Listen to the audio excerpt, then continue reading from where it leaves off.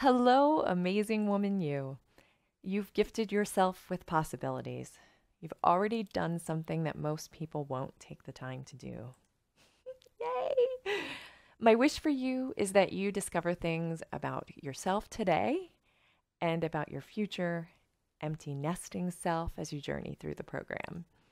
Today's assignment is to imagine in detail.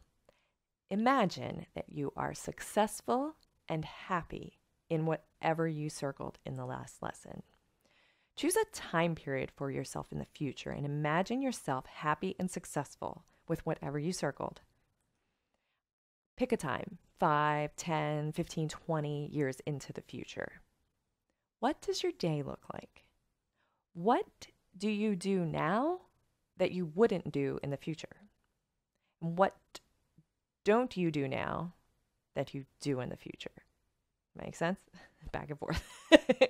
what is your life really like? Who's your inner circle? What time do you wake up? Where do you have breakfast? all of this. Imagine a day in the future where that circled thing is complete. You did it because why wouldn't you?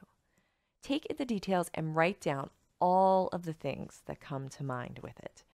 Write down what you discover in the I will imagine in detail portion of the My One Thing worksheet or a blank page, just so you have it all together. So, this is your assignment for today.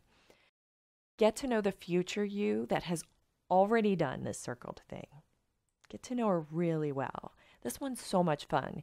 You'll need to do this work before you move on to the next lesson, so do not brush past it. Take as much time as you need.